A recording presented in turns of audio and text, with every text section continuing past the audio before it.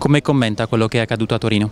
Una cosa incredibile a cui bisogna porre un limite e un eh, veto.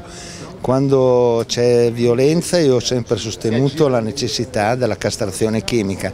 Quando uno si prende, se la prende con delle disabili piuttosto che con dei bambini, io per legge penserei alla castrazione chirurgica perché sono soggetti irrecuperabili.